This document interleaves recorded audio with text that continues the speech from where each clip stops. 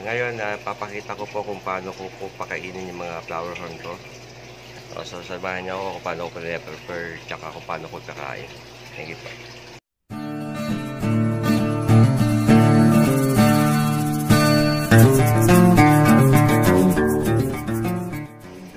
So, ayun na nga, ah, preparation ng pagkain ng flower horn. Ah, kailangan natin ng okay cook natin XL.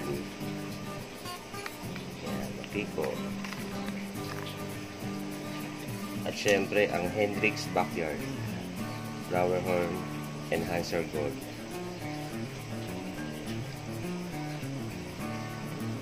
So, ito nito. Bali dito ko nilagay yung cook natin ko. Ngayon meron akong lalagyan para dito ko ilalagay yung mga pellets.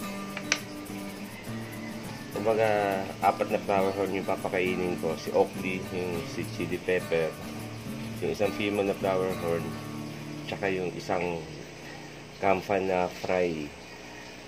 A juby size of fry. Ganun. Tapos, so maglalagay tayo ng pellets, sakto, para doon sa apat na flower horn.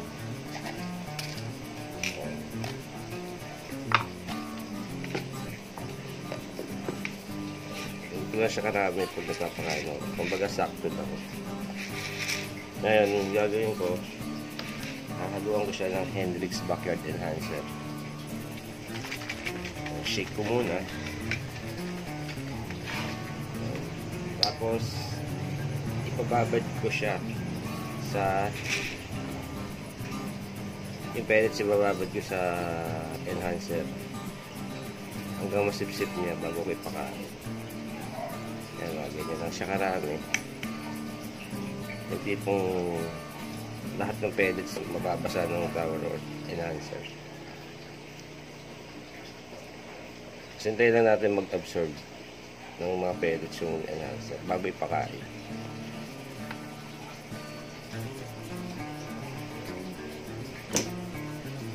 A few moments later.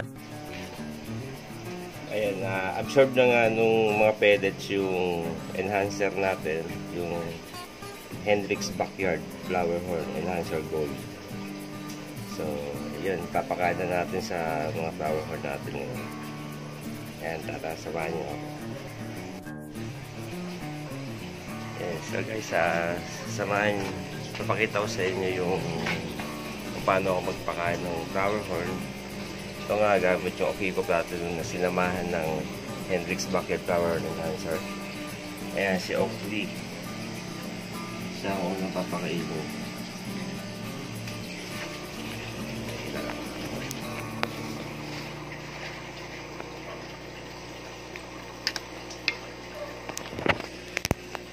Kumbaga, si Oakley, medyo marami. Ayan, ganyan ko siya pakainin.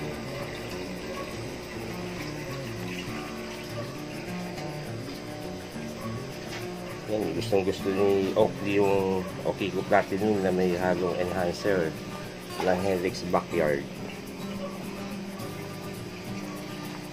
Tapos si Chili Pepper naman. Ito siya. Yan. Yan, nakikita pa lang yan. Oh. Takam na takam na rin siya. Ayan. Yung kay Thailand, Ah, konti lang. Wala. Kaya ganyan din. Ayan. Ayan, gustong gusto rin. Talaga. Ang sisiba. Tapos puntahan natin yung dalawang power horn dito sa kabila.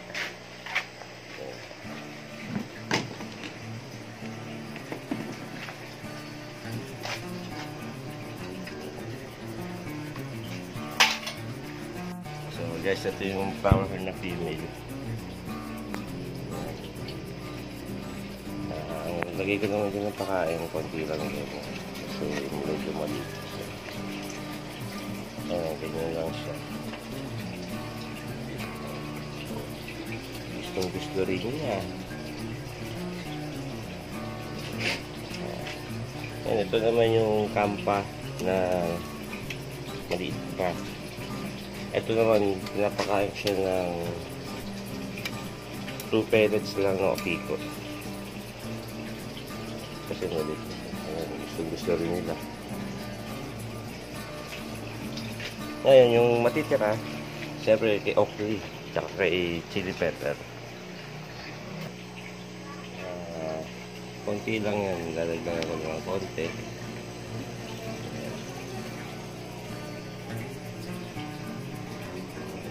Diba? Gutom na gutom pa rin. Gutom na gutom pa rin. Tapos yung siyempre, yung matitira kay Oakley na. Oh, lahat ito kay Oakley na. Kasi mas malaki sa Oakley compared sa tatlo. So,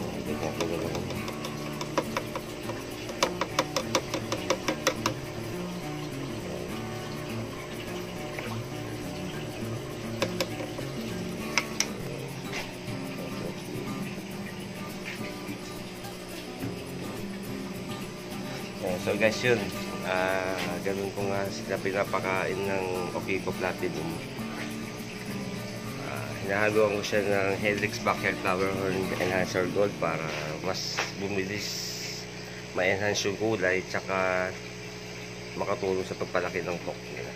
Tapos na po tayo magpakain ng mga flower horn. Ah, shoutout nga pala kay Sir Hendrix ah, Olivera, tsaka sa Team Hendrix Backyard, mga reseller dyan kay Boss Mike Hebron ah, sa mga admin ng Hendrix Backyard uh, resellers yun, ah, kung gusto nyo mag-avail ng Hendrix Backyard Flower Horn Enhancer Gold ah, PM nyo lang po, available po yung enhancer sa G1979 Aqua Pet Shop.